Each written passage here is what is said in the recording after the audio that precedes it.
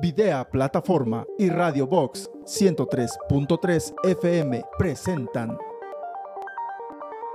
Desde la capital con la opinión de... Hola, ¿qué tal? ¿Cómo están todos ustedes? Un saludo afectuoso en este miércoles aquí desde nuestra ciudad capital de Morelia. Mm, sigue la eh, polémica o las consecuencias, digamos, mm, muy debatibles de lo que se ha venido ventilando en las últimas horas respecto al pues número tan importante de personal sindicalizado que hay en la Secretaría de Salud que eh, pues ha entrado allí por cuestiones de componendas de negociación, de influencia de familiares, de líderes sindicales, de funcionarios de la dependencia, en fin.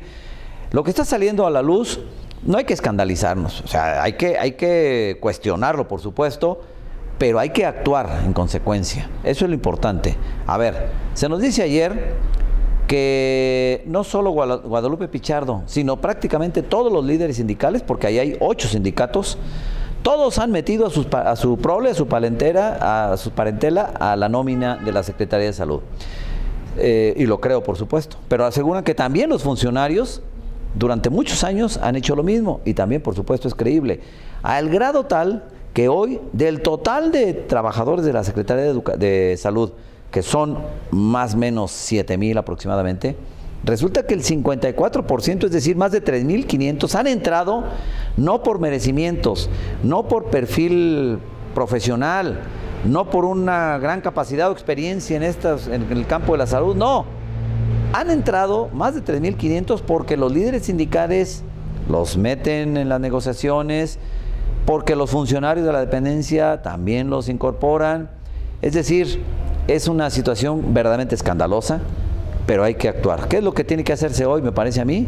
Bueno, esto es tajante. Uno, por supuesto, poner ya un alto definitivo a esta situación. Y dos, generar una política de Estado aquí en la cual eh, esto sirva como un paradigma, como un antecedente de lo que ya no debe de hacerse.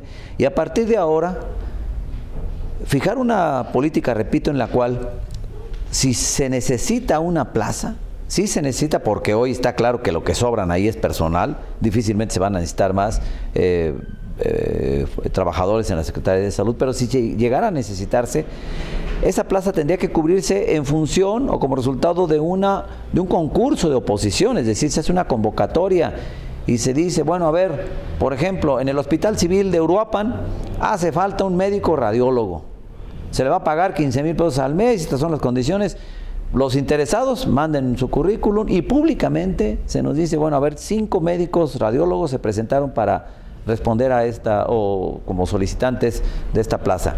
Se le asignó a fulano porque es el que más experiencia tiene, porque es el que mejor preparación tiene, tiene una especialidad, tiene una maestría, tiene X. Bueno, eso ya cambia las cosas así.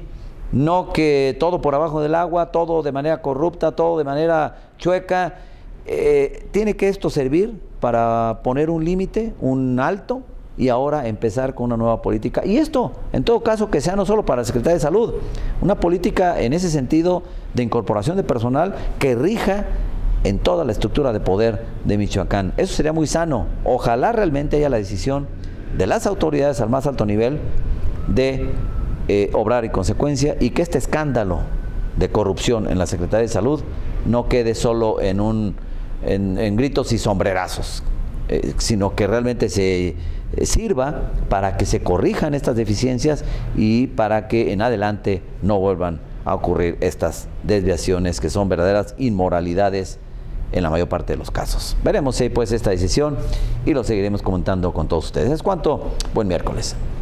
Desde la capital, con la opinión de Radio Box 103.3 FM y Videa Plataforma.